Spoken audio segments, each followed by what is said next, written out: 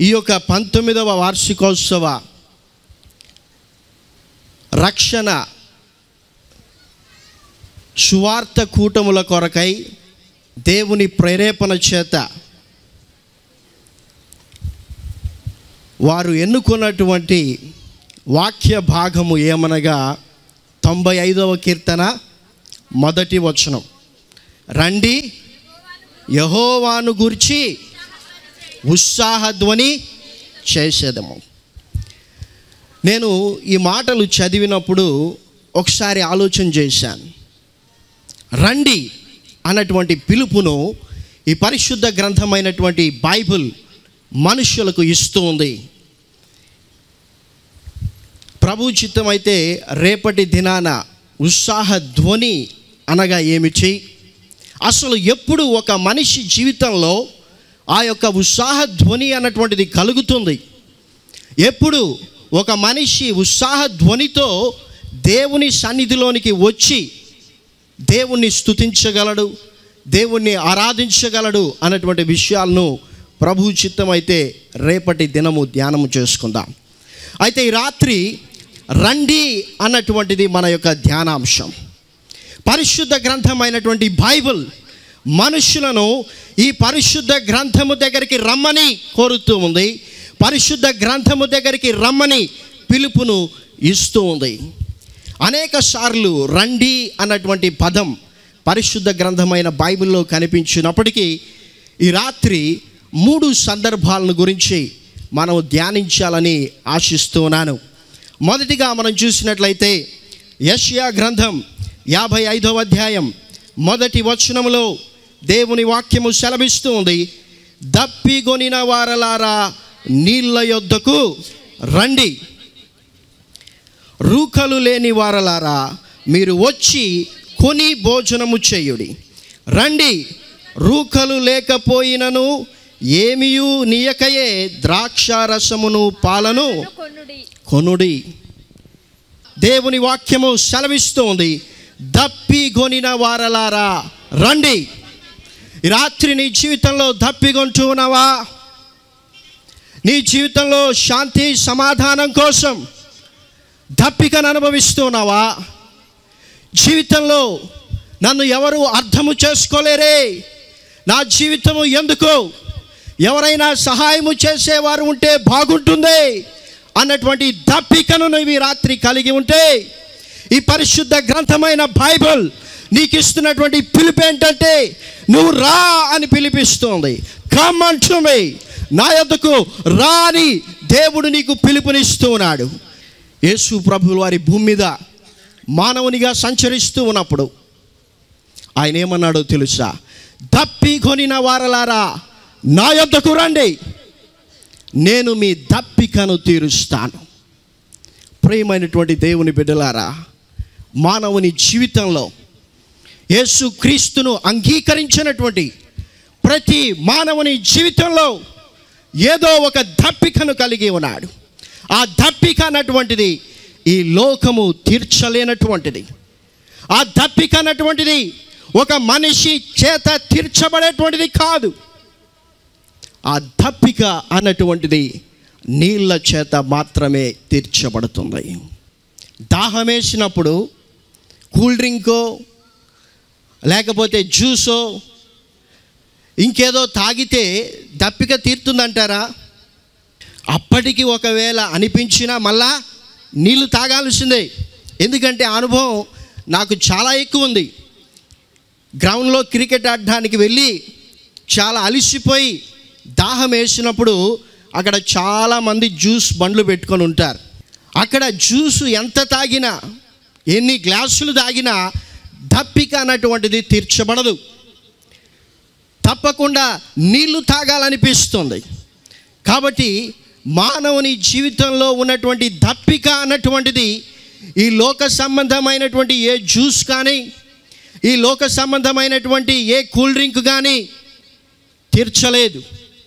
దప్పి కొనినటువంటి వారు ఎక్కడికి రావాలంటే నీళ్ళ దగ్గరికే రావాలి. ఏంటి ఆ నీళ్ళు అంటే ఈ దేవుని పరిశుద్ధ వాక్యము దేవుని నామానికి మహిమ కలుగును గాక మరలా ఇక్కడ చదువుకున్న వాక్య భాగంలో దేవుని వాక్యము ఇస్తున్నటువంటి మరొక ఆహ్వానం ఏంటంటే రండి రూకలు లేని వారలారా మీరు వచ్చి భోజనము చేయడి. కొని భోజనము చేయుడి. మీ దగ్గర రూకలు లేవు. కొనడానికి డబ్బులు లేవు. ధనము లేదు. అయితే కూడా వచ్చి భోజనము చేయమని ఈ పరిశుద్ధ గ్రంథమైనటువంటి బైబుల్ నీకు ఆహ్వానాన్ని ఇస్తూ ఉంది ఉన్నారా ఈ రాత్రి ఎవరైనా? అయ్యో నా జీవితంలో ఆత్మలో నేను కలిగినటువంటి ఆకలి ఆత్మలో నేను కలిగినటువంటి దప్పికను తీర్చగలిగినటువంటి వారు ఎవరైనా ఉన్నారా? ఏదైనా నాకు సహాయం చేస్తుందా అని ప్రశ్నించేటువంటి వారు. ఒకవేళ ఇది వరకు ఈ లోక సంబంధమైనటువంటి అనేక విషయాలను నీవు ప్రయత్నించి ఉండవచ్చు నీ దప్పికను తీర్చుకోవడానికి. లేకపోతే నీ లోపల ఉన్నటువంటి ఆకలిని తీర్చుకోవడానికి ఇది వరకు సినిమాలకు బానిసమైపోయి సినిమా నీ దప్పికను తీరుస్తుందని నీవు భ్రమపడినొచ్చు ఈ లోక సంబంధమైనటువంటి చెడు వ్యసనాలు నీ ఆత్మలో కలిగినటువంటి ఆకలిని తీరుస్తాయని భ్రమపడి నీ జీవితాన్ని నాశనం చేసుకున్నావేమో. అయితే రాత్రి దేవుడు నీతో మాట్లాడుతున్నాడు తప్పికొనినటువంటి ఓ బిడ్డ నీవు నీళ్ళ దగ్గరికి రావాలి. ఆకలితో అలమటిస్తున్నటువంటి నా కుమారుడా నా కుమార్తె నీవు ఎక్కడికి రావాలంటే నీవు రూకలు ఇవ్వకుండానే పొందుకోగలిగినటువంటి భోజనం ఒకటింది ఆ భోజనము ఈ దేవుని పరిశుద్ధ వాక్యము ఈ దేవుని పరిశుద్ధ వాక్యము నీవు ఆత్మలో కలిగినటువంటి దప్పికను నీవు ఆత్మలో కలిగినటువంటి ఆకలిని తీర్చడానికి శక్తి కలిగినటువంటిది. దేవుడి రాత్రి నీతో మాట్లాడుతూ ఉన్నాడు. నీ దప్పికను నీ ఆకలిని తీర్చుకోవాలంటే ఈ పరిశుద్ధ గ్రంథమైనటువంటి బైబిల్ని నీవు చదవాలి. ఈ లోకంలో మనకు అందుబాటులో ఉన్నట్లుగా బైబిల్ చాలామందికి లేదు. రెండు వందల రూపాయలు. అంటే ఒక చికెన్ బిర్యానీ వెలకు ఈ దేవుని పరిశుద్ధ గ్రంథమైనటువంటి బైబిల్లో ఉన్నటువంటి అరవై ఆరు పుస్తకాలు నీవు చదవగలిగినటువంటి భాషలో నీకు అందుబాటులో ఉన్నాయి. చాలా దేశాల్లో సంపూర్ణ బైబిల్ అందుబాటులో లేక అందుబాటులో ఉన్నటువంటి కొన్ని పేజీలు చదువుకొని ఒకరికి ఒకరు పాస్ చేసుకుంటూ వాక్యం కోసం అలమటిస్తున్నటువంటి వారు ఉన్నారు కాబట్టి ఈ దేవుని పరిశుద్ధ వాక్యాన్ని నీవు చదవాలి. చదివినప్పుడు నీ ఆత్మ సంబంధమైనటువంటి దప్పిక ఆకలి తీర్చబడుతుందని దేవుడు హెచ్చరిస్తూ ఉన్నాడు. మూడవదిగా మనం చూసినట్లయితే చదువుకున్న వాక్య భాగములో దేవుని వాక్యము సెలవిస్తోంది. రండి. రండి. రోకలు లేకపోయినను. రూకలు లేకపోయినను. నీయకయే. ఏమియు నీయకయే. ద్రాక్షరసమును పాలను కొనుడి. ద్రాక్షారసమును పాలను కొనుడి. కొనుడి. ఈ ద్రాక్షారసము దేనికి సాదృశ్యంగా ఉందంటే యేసుక్రీస్తు రక్తమునకు సాదృశ్యంగా ఉంది. మానవుని జీవితంలో ఎందుకు ఆత్మ సంబంధమైనటువంటి దప్పిక? ఎందుకు ఆత్మ సంబంధమైనటువంటి ఆకలి అంటే మనిషి చేసినటువంటి పాపం. మనిషి జీవితంలో ఎందుకు సమాధానం లేదంటే మనిషి జీవితంలో ఎందుకు నెమ్మది లేదంటే మనిషి చేసినటువంటి పాపమే కారణము. ఎందుకు మనిషి జీవితంలో అనారోగ్యము అస్వస్థత ఎందుకు మనిషి జీవితంలో కష్టాలు ఇరుకులు ఇబ్బందులు ఎందుకు మనిషి జీవితంలో దేవుడిచ్చినటువంటి సమృద్ధి జీవాన్ని పోగొట్టుకొని దప్పికతో ఆకలితో అలమటిస్తూ ఉన్నాడంటే పాపమే కారణం. ఈ పరిశుద్ధ గ్రంథమైనటువంటి బైబిల్ నీవు చదివితే ఇది నీవు ఎక్కడ పాపము చేస్తున్నావో ఎక్కడ ఇంకా నీ జీవితంలో పాపముందో తెలియజేస్తుంది. తెలియజేయడము మాత్రమే కాదు ఈ పరిశుద్ధ గ్రంథమైనటువంటి బైబిల్ ఏమి చేస్తే నీ పాపము పోతుందో ఏమి చేస్తే నీవు పరిశుద్ధపరచబడతావో కూడా తెలియజేస్తుంది. దేవుని నామానికి మహిమ కలుగునుగాక. ప్రపంచంలో చాలా మంచి పుస్తకాలు ఉన్నాయి ప్రపంచంలో చాలా మత గ్రంథాలు ఉన్నాయి అయితే ఈ పరిశుద్ధ గ్రంథమైనటువంటి బైబిల్కు ఉన్నటువంటి ప్రత్యేకత ఏంటో తెలుసా? ఇది నీ స్థాయిని తెలియజేయడం మాత్రమే కాదు. అంటే నీవు దేవుని స్థాయి కంటే ఇంకా ఎంత దిగజారిపోయావో లేకపోతే దేవుని స్థాయి కంటే ఇంకా ఎంత కింది భాగంలో నీ ఉన్నావో తెలియజేయడం మాత్రమే కాదు కానీ ఈ పరిశుద్ధ గ్రంథమైనటువంటి బైబుల్ నీవు ఆ స్థితికి ఆ స్థాయికి ఎదిగేటువంటి సామర్థ్యతను కూడా అనుగ్రహిస్తుంది. ఉదాహరణ ఏంటంటే నా ఎత్తు చూసుకోవాలంటే ఒక స్కేల్ ఉంటుంది. లేకపోతే ఒక గోడకు ఆ యొక్క స్కేలింగ్ నెంబర్స్ వేయబడి ఉంటాయి. అక్కడికి వెళ్ళి నేను నిలబడితే నా ఎత్తు ఎంతో నేను తెలుసుకోగలుగుతాను. ఈ లోక సంబంధమైనటువంటి మత గ్రంథాలు లేకపోతే మంచి పుస్తకాలు ఆ స్కేల్కు సాదృశ్యంగా ఉన్నాయి. అంటే అవి నీ స్థితిని తెలియజేస్తాయి. నేను ఇంకా ఎంత ఎత్తు ఎదగాలో అవి తెలియజేయచ్చు. బట్ అయితే నీవు ఆ స్థితికి ఆ ఎత్తుకు ఆ స్థాయికి ఎదగగలిగినటువంటి సామర్థ్యమును అవి నీకు కలిగించావు. అయితే పరిశుద్ధ గ్రంథమైన బైబుల్ నీ స్థితిని స్థాయిని తెలియజేయడం మాత్రమే కాదు కానీ నీవు ఇంకా ఎంత ఎదగాలో తెలియజేస్తూ ఎదగడానికి అవసరమైనటువంటి పాలను నీకు అనుగ్రహిస్తూ పోషించి నిన్ను ఎదిగింపజేస్తుంది. అది ఈ పరిశుద్ధ గ్రంథమైనటువంటి వాక్యానికి ఉన్నటువంటి ప్రత్యేకత. కాబట్టి మన జీవితాల్లో ఒకవేళ ఆత్మ సంబంధమైనటువంటి దప్పిక ఆకలిని కలిగి ఉంటే నీవు మొదట చేయాల్సినటువంటి పని ఏంటో తెలుసా? ఈ పరిశుద్ధ గ్రంథమైన బైబుల్ని నీవు చదవాలి. ప్రతిరోజు ఉదయమున లేచి నీవు పరిశుద్ధ గ్రంథమైన బైబుల్ని చదవాలి. ఈ వాక్యాన్ని ప్రతిరోజు ఉదయాన్నే నీవు చదవగలిగితే ఇది తెలియజేస్తుంది. నీ జీవితంలో ఎక్కడ తప్పు చేస్తున్నావో? ఒక సంఘ కాపరిగానో ఒక ప్రసంగికునిగానో నాకు తెలియదు నీ జీవితంలో ఏ తప్పు చేస్తున్నావో. ఎక్కడ పొరపాటు చేస్తున్నావో నేను చూడలేను. అయితే పరిశుద్ధ దేవుడు మన హృదయ అంతరంగమును చూచేటువంటి వాడు. ఈ దేవుని పరిశుద్ధ వాక్యము హృదయ అంతరంగమును పరిశోధించడానికి శక్తి కలిగినటువంటిది.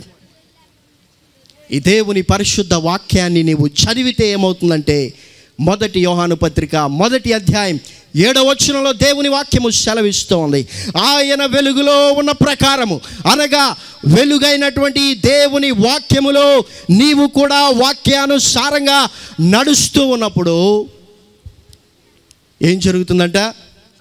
అన్యోన్యమైన సహవాసము గలవారమై ఉందుము. అప్పుడు ఏం జరుగుతుంది? ఆయన కుమారుడైన యేసు రక్తము ప్రతి పాపమును ప్రతి పాపము నుండి కడిగి మనల్ని పవిత్రులుగా చేస్తుంది. ఎప్పుడు ఇది మన రక్షణప్పుడుది కాదు. రక్షింపబడ్డానికి ఒప్పుకున్నావు నీ పాపాలు. అవును రక్షింపబడ్డావు. అంతటితో ముగించబడలేదు.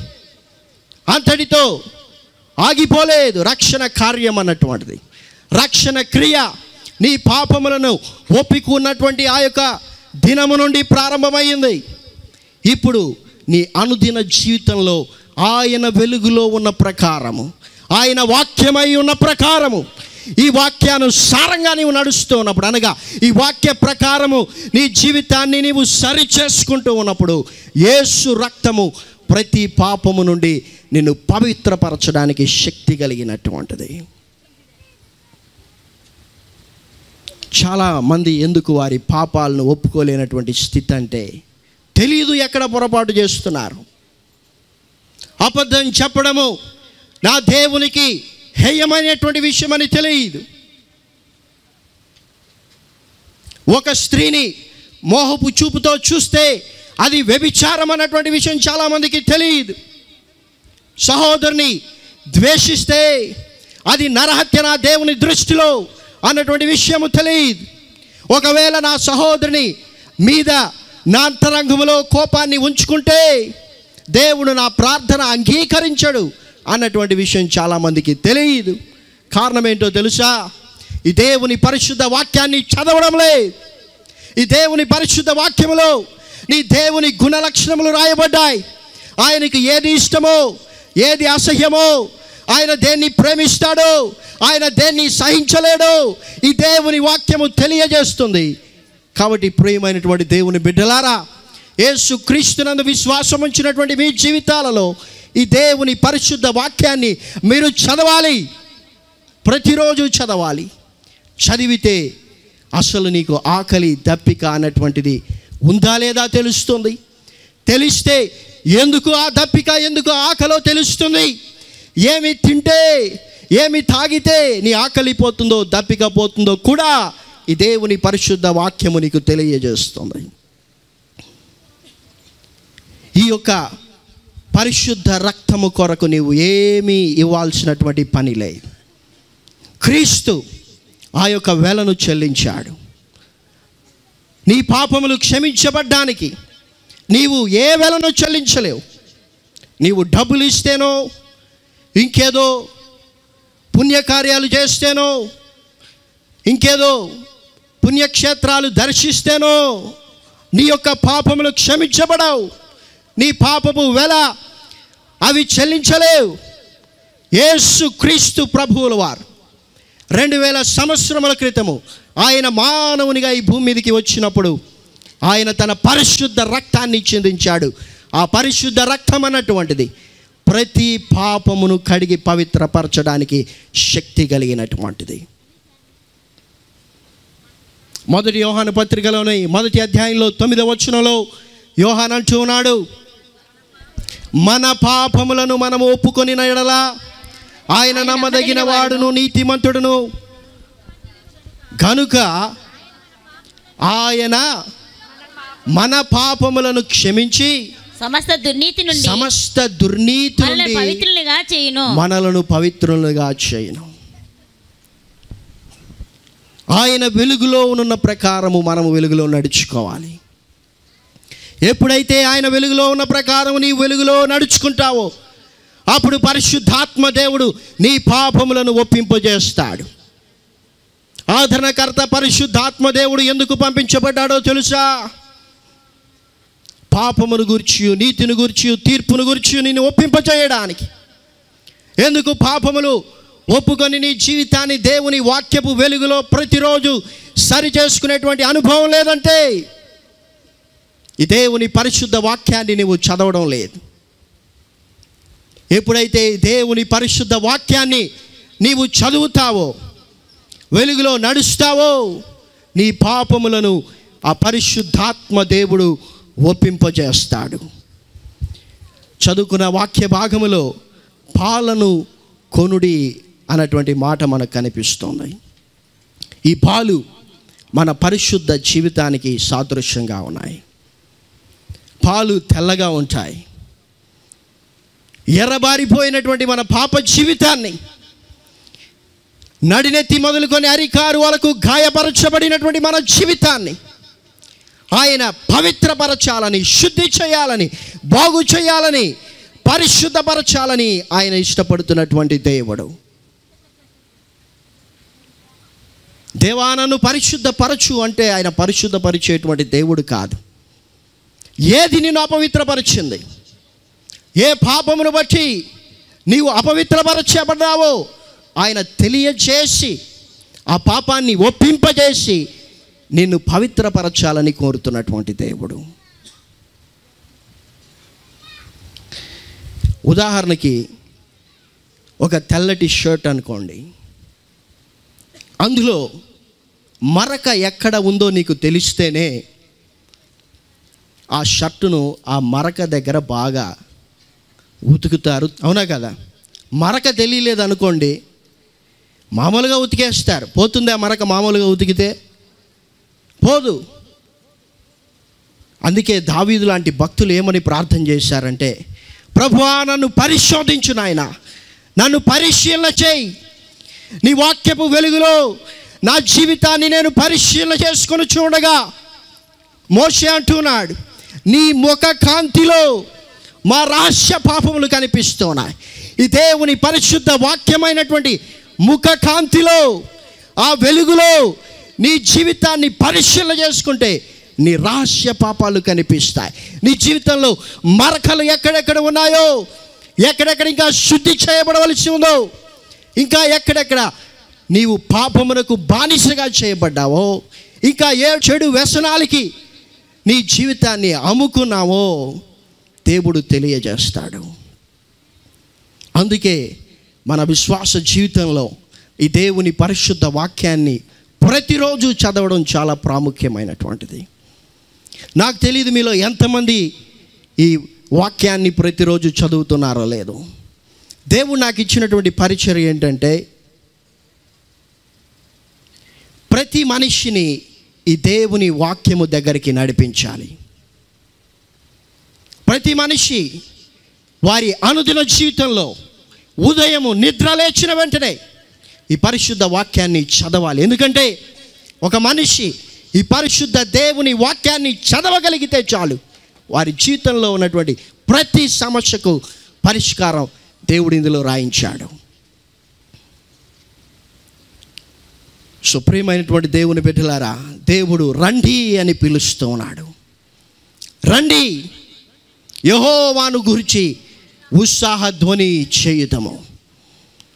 ఆకలితో దప్పికతో ఉంటున్నటువంటి నీవు ఉత్సాహ ధ్వని చేయగలవా? చేయలేవు. ఈ రాత్రి ఉత్సాహ ధ్వని చేయలేనటువంటి స్థితిలో దప్పికతో ఆకలితో అలమటిస్తూ ఉంటాయి. యేసు అంటున్నాడు నా దగ్గరికి రా. ఎందుకు యేసు దగ్గరికి రావాలో తెలుసా? యోహాను సువార్త ఏడవ అధ్యాయం ముప్పై ఎనిమిదవ వచనం. నా యందు విశ్వాసం ఉంచువాడెవడో లేఖనము చెప్పినట్లు వాని కడుపులో నుండి జీవ జల నదులు పారునని బిగ్గరగా చెప్పాను.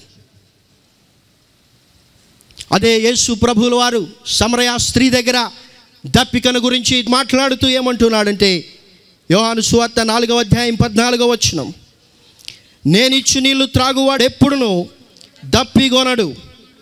నేను వానికిచ్చు నీళ్ళు నిత్య జీవమునకై వానిలో ఊరెడు నీటి బుగ్గగా ఉండునని ఆమెతో చెప్పాను. ఈ పరిశుద్ధ గ్రంథమైనటువంటి వాక్యమైనటువంటి నీళ్ళకున్నటువంటి శక్తి ఏంటో తెలుసా? ఈ వాక్యము నీ దప్పికను తీరిస్తే మళ్ళా నీవు దప్పికొనవు. కారణం ఏంటో తెలుసా? దేవుని వాక్యము సెలవిస్తోంది. నేను వానికిచ్చు నీళ్ళు నిత్య జీవమునకై వానిలో ఊరెడు నీటి బుగ్గగా ఉండును. ఈ దేవుని వాక్యాన్ని ఒకవేళ నీ హృదయంలో ఉంచుకోగలిగితే దావీదు లాంటి మహాభక్తులు ఏమన్నారో తెలుసా? నూట పంతొమ్మిదవ కీర్తన పదకొండవ వచ్చినములో నేను నీ ఎదుట పాపము చేయకుండానట్లు నీ వాక్యమును నా హృదయములో ఉంచుకున్నాను. ఒకవేళ ఈ దేవుని పరిశుద్ధ వాక్యాన్ని నువ్వు చదివి దాన్ని ప్రతిరోజు నీ హృదయంలో ఉంచుకోగలిగితే ఈ దేవుని వాక్యం అన్నటువంటిది నీ హృదయ అంతరంగంలో ప్రభావము చేస్తుంది. పాపమును క్షమించి పాపము నుండి నిన్ను పవిత్రపరచడము కాదు పాపంపై విజయాన్ని ఇస్తుంది దేవుని నామానికి మహిమ కలుగునుగాక. అది ఈ పరిశుద్ధ గ్రంథంలో ఉన్నటువంటి ప్రత్యేకత. పాపంపై విజయాన్ని ఇస్తుంది ఈ దేవుని వాక్యం. ఇక ఈ లోక సంబంధమైనటువంటి సినిమా పట్ల దప్పిక లేకుండా ఈ లోక సంబంధమైనటువంటి చెడు వ్యసనాలకు లేకపోతే ఈ లోక సంబంధమైనటువంటి చెడు సహవాసములు అన్నటువంటి ఆకలి లేకుండా ఈ దేవుని వాక్యముని హృదయంలో ఉంటూ ఉన్నప్పుడు అది నీకు కావలసినటువంటి ఆత్మ సంబంధమైనటువంటి తృప్తిని కలిగిస్తుంది. మొదటి వచనంలో కొనుడి అని దేవుని వాక్యం సెలవిస్తోంది. యేసుప్రభు ఆల్రెడీ వెల చెల్లించాడు.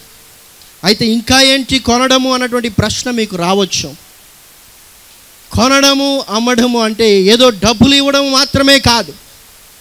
యేసు రక్తములో నీవు కడగబడాలంటే పాలవలే నీ యొక్క ఆత్మ పవిత్రపరచబడాలంటే నీవు కొనాలి. ఏమి కొనాలంటే దేవుని వాక్యాన్ని చదవడానికి అవసరమైన సమయాన్ని కొనాలి. సినిమా చూస్తున్నటువంటి నీవు దేవుని వాక్యాన్ని కొనే సమయాన్ని ఎలా కలిగి ఉంటావు? న్యూస్ పేపర్కే సమయాన్ని ఇస్తున్న నీవు దేవుని వాక్యాన్ని చదవడానికి నీ జీవితంలో సమయం ఎక్కడిది? ఫ్రెండ్స్తో ఫేస్బుక్లో వాట్సాప్లో చాట్ చేస్తూ ఫ్రెండ్స్తో తిరుగుతూ పని పాట లేక తిరుగుబోతుగా విచ్చలవిడిగా నీ జీవితాన్ని ముందుకు తీసుకుని వెళ్ళిపోతున్న నీ జీవితంలో దేవుని వాక్యాన్ని చదివేదానికి సమయం ఎక్కడిది? నో. నీవు చెడు సహవాసాలు చేస్తూ చెడు దృశ్యాలు చూస్తూ చెడు స్నేహాలు కలిగి ఉంటూ చెడు వ్యసనాలకి బానిసం అయిపోతూ ఈ లోక సంబంధమైన విషయాలకు సమయాన్ని ఇస్తూ ఈ దేవుని పరిశుద్ధ వాక్యాన్ని నీవు చదవలేవు. ఈ లోక సంబంధమైనటువంటి విషయాలకు నీవు వెచ్చించేటువంటి సమయాన్ని అమ్మితే కదా నీవు వాక్యాన్ని చదవడానికి సమయం వచ్చేది. ఎందుకండి బైబిల్ చదవడం లేదంటే చాలామంది చెప్పేటువంటి జవాబు ఏంటో తెలుసా? బిజీ అండి సమయం లేదు. మా చదువు మా ఉద్యోగం మా కుటుంబం దీనికే సమయం సరిపోవడం లేదు. ఇంకా ఎక్కడ బైబిల్ చదివేది? మా పాస్టర్ గారు మా కొరకు ప్రార్థన చేస్తున్నారు. అది చాలు. లేకపోతే మా దశం భాగాలు మేము ఒకరికి ఇస్తున్నాం. వారు మా కొరకు ప్రార్థన చేస్తున్నారు. లేకపోతే ఒక వ్యక్తితో మేము ఫోటో తీయించుకున్నాం. మా ఫ్రిడ్జ్ మీద పెట్టుకున్నాం. ఆయన మా కొరకు ప్రార్థన చేస్తున్నాడు. నో. ఎవరో ప్రార్థన చేస్తే నీ జీవితం బాగుపడదు. నీవు కలిగినటువంటి మరక నీకే తెలుస్తుంది. ఆ మరకను శుద్ధి చేయగలిగినటువంటిది కూడా ఏసుక్రీస్తు రక్తము మాత్రమే. ఈ లోకంలో శుద్ధి చేయడానికి కడగడానికి ఒక్కొక్క దానికి ఒక్కొక్క వస్తువు ఉంది. మనం స్నానం చేయాలంటే ఏ సబ్బు వాడతాం.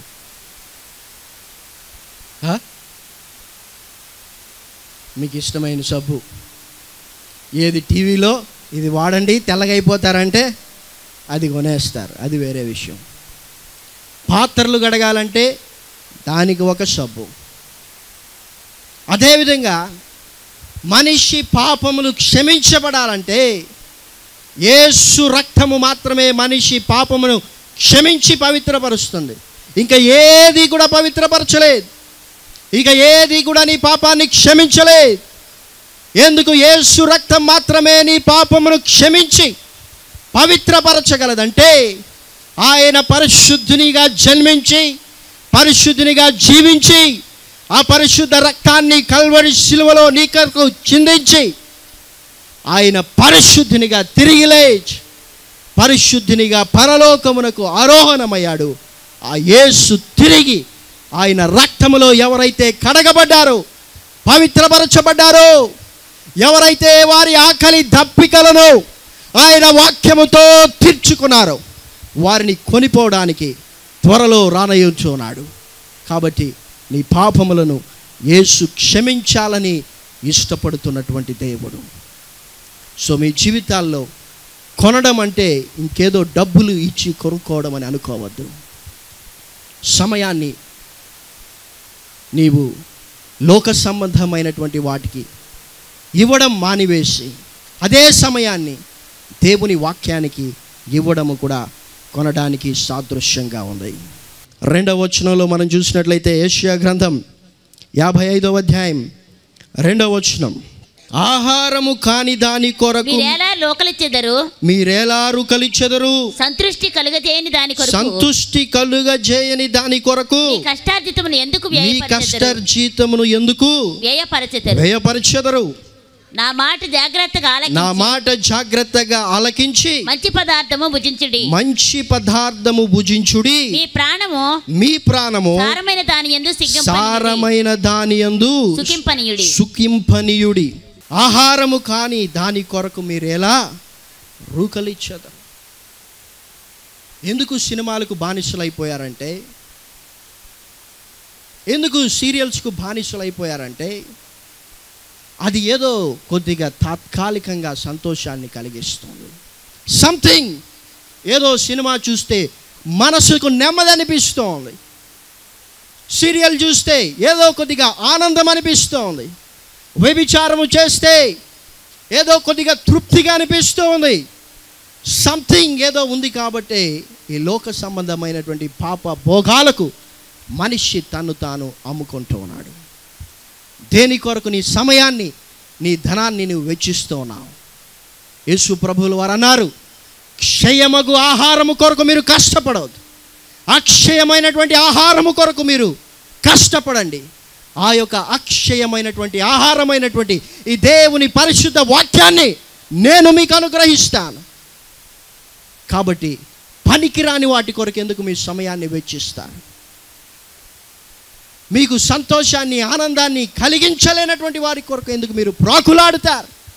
ఎందుకు మీ కష్టార్జితాన్ని వాటికి వెచ్చించి మీ జీవితాలను నశింపజేసుకుంటారు?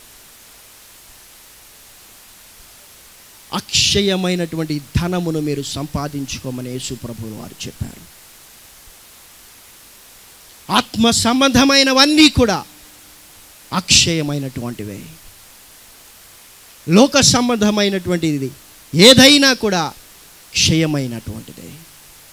అందుకే పేతురు రాస్తూ ఏమంటున్నాడంటే మీరు క్షయ బీజము నుండి పుట్టలే అయితే జీవము కలిగినటువంటి దేవుని వాక్యమైనటువంటి అక్షయ బీజము నుండి మీరు పుట్టినటువంటి వారు. ఈ దేవుని వాక్యమూలముగా మీరు పుట్టారు. ఈ వాక్యాన్ని చదివినప్పుడు పరిశుద్ధాత్మ దేవుడు మీ పాపాన్ని ఒప్పింపజేయడం ద్వారా మీరు రక్షించబడ్డారు. ఎందుకు ఆ రక్షణ అనుభవాన్ని ఇప్పుడు విడిచిపెట్టి ఈ లోక సంబంధమైనటువంటి విషయాలతో తృప్తి పొందాలని మీరు కోరుతారు? అవి మిమ్మల్ని తృప్తిపరచలేవు. దేవుడు మనల్ని ఎలా తృప్తిపరచాలనుకుంటున్నాడంటే మూడు విషయాల ద్వారా తృప్తిపరచాలనుకుంటున్నాడు. నెంబర్ వన్ నూట నలభై ఏడవ కీర్తన పద్నాలుగు వచ్చినలో దేవుని వాక్యము సెలవిస్తుంది. నీ సరిహద్దులలో సమాధానము కలుగచేయువాడు ఆయనే. మంచి గోధుమలతో నిన్ను తృప్తిపరచువాడు. ఆయనే ఈ మంచి గోధుమలు ఈ దేవుని వాక్యానికి సాదృశ్యంగా ఉన్నాయి. గోధుమలకు ఉన్నటువంటి ఒక లక్షణం ఏంటో తెలుసా? అవి మీరు ఎంత నములుతారో అవి అంత నమిలే విధముగా తయారవుతాయి. చిన్నప్పుడు ఇంట్లో బబుల్ గమ్స్ అడిగితే కొనిచ్చేవాళ్ళు కాదు. అది ఆ పంది దాంతో చేసి ఉంటారు అదేసి ఉంటారు ఇదేసి ఉంటారు తినకూడదని చెప్పేటువంటి వారు. సో ఈ గోధుమలు వేసుకొని తిని ఆ చువింగం అనుభవం పొందేటువంటి వాళ్ళం. సో ఈ దేవుని వాక్యంలో ఉన్నటువంటి ప్రత్యేకత ఏంటంటే ఇది నిన్ను తృప్తిపరచడానికి శక్తి కలిగినటువంటిది. ఎంత చదివినా ఇంకా ఇందులో శక్తి దాగి ఉంది. ఎంత తిన్నా ఇంకా నిన్ను తృప్తిపరచగలిగినటువంటి సామర్థ్యత ఈ వాక్యానికి ఉంది. నీవు ఎంత ఇంకా తాగినా ఈ దేవుని వాక్యము నీకు సమృద్ధి జీవాన్ని ఇవ్వడానికి శక్తి కలిగినటువంటిది. ఆయన మంచి గోధుమలతో నిన్ను తృప్తిపరచాలని కోరుతున్నాడు. చదువుదామా ఈరోజు నుంచి ప్రతిరోజు దేవుని వాక్యాన్ని? రెండవదిగా ఎనభై ఒకటవ కీర్తన పదార వచనంలో దేవుని వాక్యము శలభిస్తోంది అతి శ్రేష్టమైన గోధుమలను అనుగ్రహించి నేను వారిని పోషించుదును. కొండ తేనెతో నిన్ను తృప్తిపరచుదును. కొండ తేనె అనేటువంటిది దేనికి సాదృశ్యంగా ఉందంటే నీ వ్యక్తిగత ప్రార్థనకు సాదృశ్యంగా ఉంది. రూపాంతర లూథరన్ చర్చ్. ఎక్కడ పొందాడో తెలుసా? యేసు ప్రభు రూపాంతరం కొండ మీద పొందాడు. ఆయన ప్రార్థన చేయడానికి ఎక్కడికి వెళ్ళేవాడో తెలుసా? లూక రాస్తూ అంటున్నాడు ఆరో అధ్యాయం పన్నెండవ వచనంలో. ఆయన ప్రార్థన చేయుటకు ఒలీవ కొండకు వెళుతూ ఉండేటువంటి వాడు. కొండ తేనెతో ఆయన నిన్ను తృప్తిపరచాలని కోరుతున్నాడు ఆయన వాక్యముతో నిన్ను తృప్తిపరచాలి అని దేవుడు కోరుతున్నాడు కొండ తేనెతో ఆయన నిన్ను తృప్తిపరచాలని కోరుతున్నాడు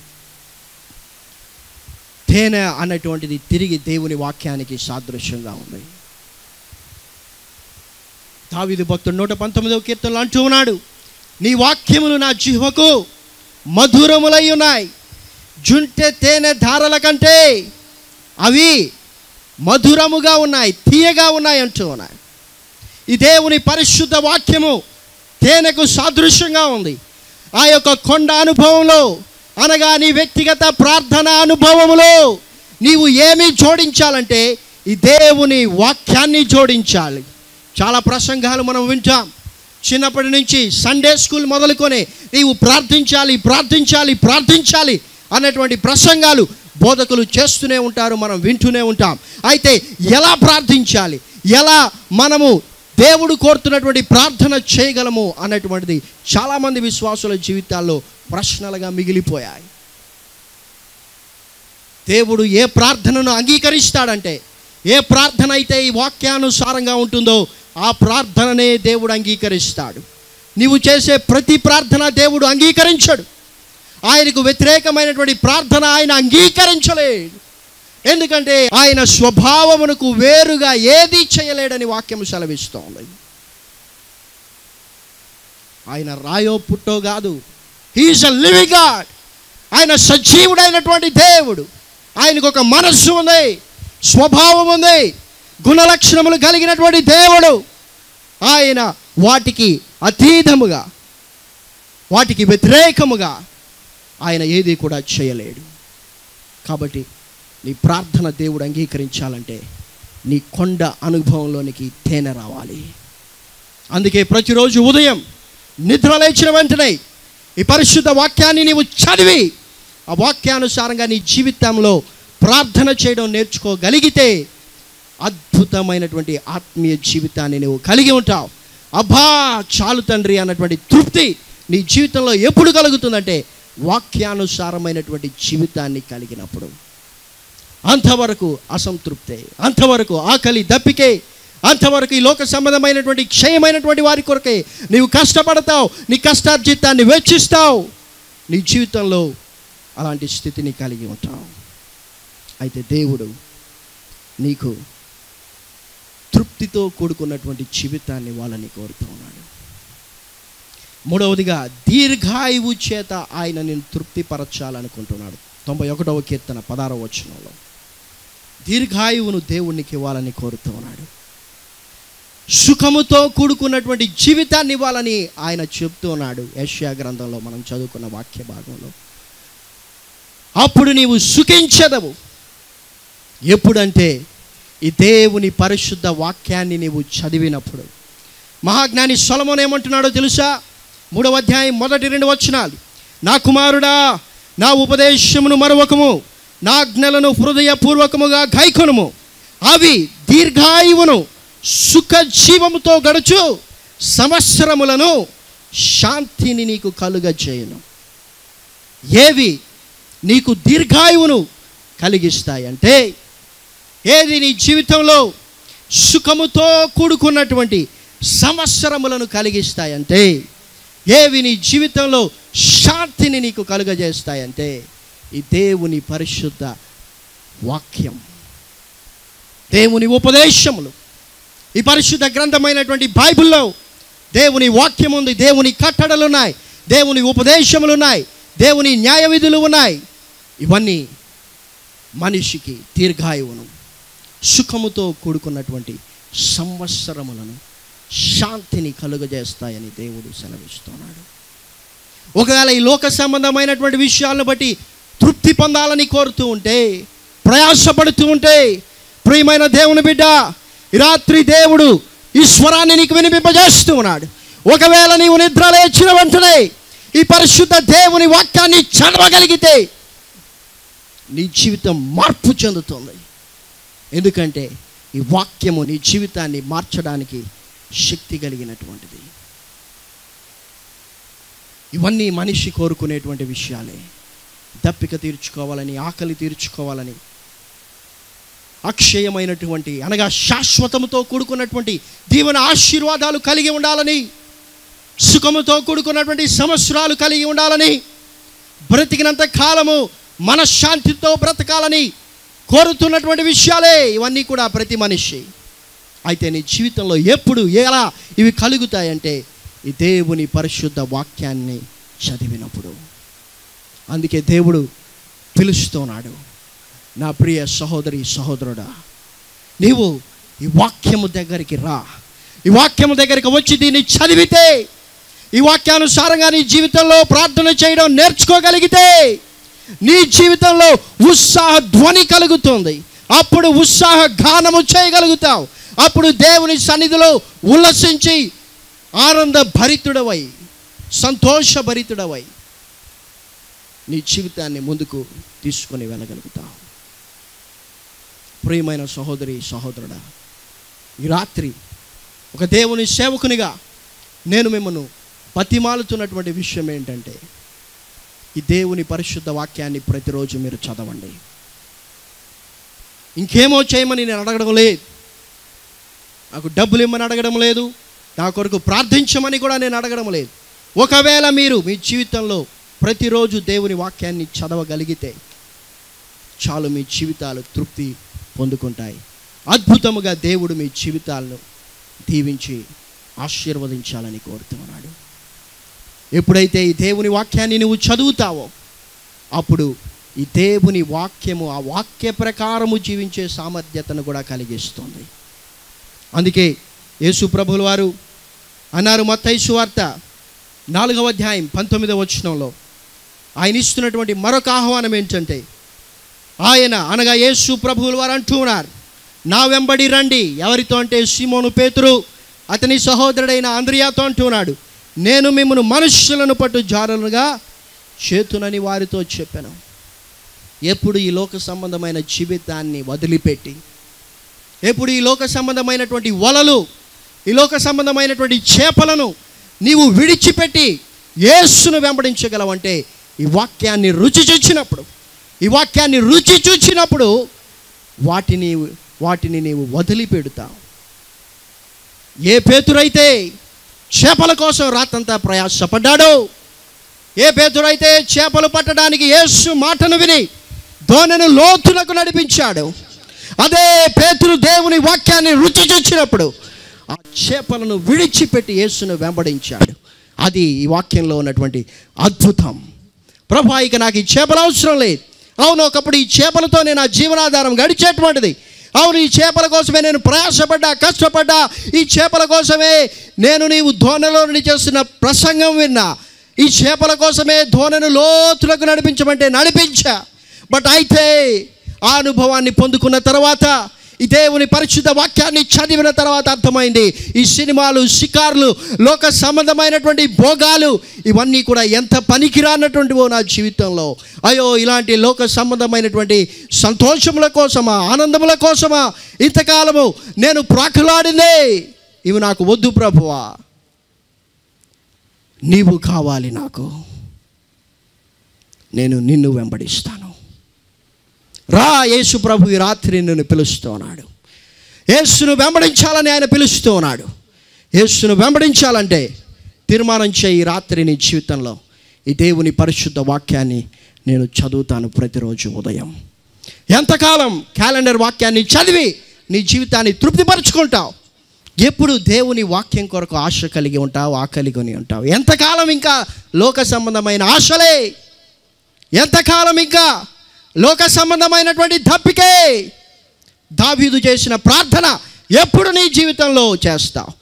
నీరు లేక ఎండిపోయిన దేశమందు దేవా నీ కొరకు నా ప్రాణము దప్పికొంటూ ఉంది.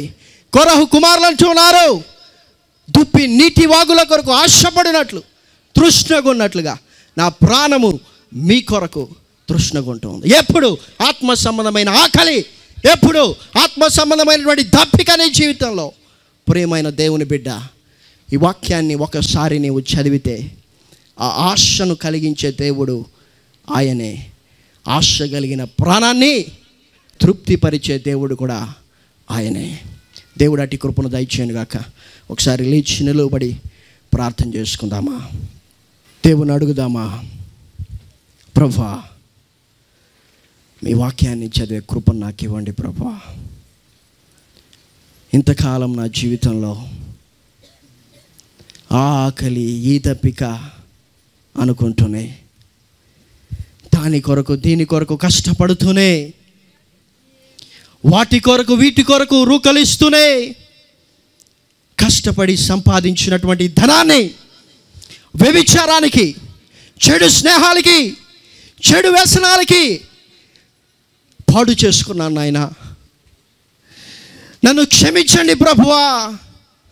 మీ వాక్యపు వెలుగులో మీ ముఖ కాంతిలో మా రహస్య పాపములు కనబడుతూ ఉండగా పరిశుద్ధాత్మదేవా మా పాపములను ఒప్పింపజేస్తూ ఉండగా మా పాపములను ఒప్పుకొనుచు ఉండగా మా పాపములను క్షమించి సమస్త దుర్నీతి నుండి ప్రతి పాపము నుండి మమ్మను కడిగి పవిత్రపరచండి నాయనా.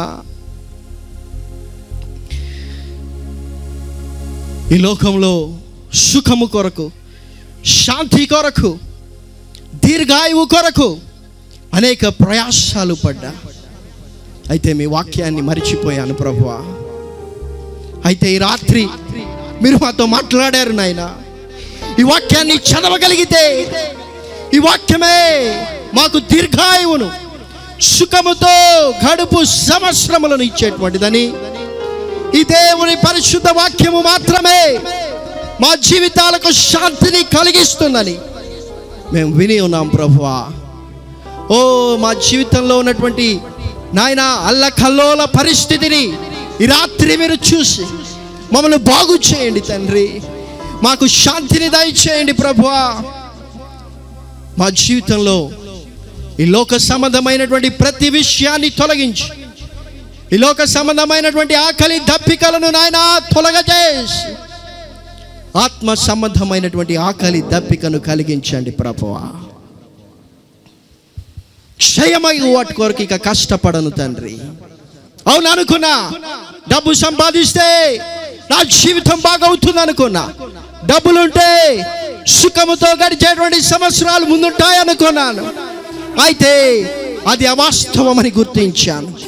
దేవుడు అన్నాడు వెరివాడా ఈ రాత్రి నీ ప్రాణమును నేను తీసుకుంటే భవిష్యత్తులో నీకు ఎలా సుఖ సంవత్సరాలు ఉంటాయి? నీ డబ్బు నీ ఉద్యోగం నీ హోదా ఇవి ఏవి నీకు సుఖాన్ని సుఖముతో గడుపు సంవత్సరములను శాంతిని కలుగ చేయవు రాత్రి దేవునితో మాట్లాడుతూ ఉన్నాడు ప్రియ సహోదరి సహోదరుడా అడుగు దేవుని ప్రభువ ఇవి నీ వాక్యమే నాకు కలుగజేస్తుంది. నాయన ఈ రాత్రి నాలో ఆశను కలిగించండి. నా ఆత్మలో తృష్ణను కలిగజేయండి ప్రభువ. మీ వాక్యం పట్ల ఆశను తప్పికను కలిగించండి ప్రభువ. ప్రతిరోజు ఉదయం లేచి మీ వాక్యాన్ని చదువుతానైనా ఆ వాక్య ప్రకారం ప్రార్థన చేస్తాను తండ్రి. తద్వారా మీలో ఉన్నటువంటి సర్వ సమృద్ధితో కూడుకున్నటువంటి జీవితాన్ని నేను పొందుకుంటాను నాయనా. అని నీవు అడుగుతూ ఉండగా దేవుడు ఆ రీతిగా సహాయం చేయడానికి ఇష్టపడుతున్నాడు. తలలోంచండి ప్రార్థన ప్రార్థన పరలోకమందుల తండ్రి మీ పరిశుద్ధమైన నామంను బట్టి మిమ్మల్ని స్థుతిస్తున్నాను ఈ రాత్రి ఇక్కడికి వచ్చిన ప్రతి బిడ్డను మీరు చూస్తున్నారు ప్రభా. ఏదో ఒక ఆకలి తప్పికతో వారు వచ్చారు నాయన. వృధాగా రాలేదు. ఈ లోకంలో నాయన అనేక మంది ఆకలి తప్పికలతో మరణిస్తూ ఉన్నారని కొట్టుమిటలాడుతున్నారని మీ పీటలను ప్రలేపించి మీరు ఈ కూడికలను ఏర్పాటు చేశారు. ఆ రీతిగా ఈ రాత్రి ఆకలి తప్పికతో వచ్చిన ప్రతి బిడ్డను మీ వాక్కుతో వారిని తృప్తిపరచి ప్రతిరోజు వారి జీవితాల్లో మీ వాక్యాన్ని చదివి ఆ ప్రకారం ప్రార్థన చేసేటువంటి కృపను ఉన్నటువంటి నాకు మా అందరికీ దయచేయమని నచురుడైన యేసుక్రీస్తు నామమున ప్రార్థిస్తున్నాను తండ్రి. ఆమె ఆమె ఆమె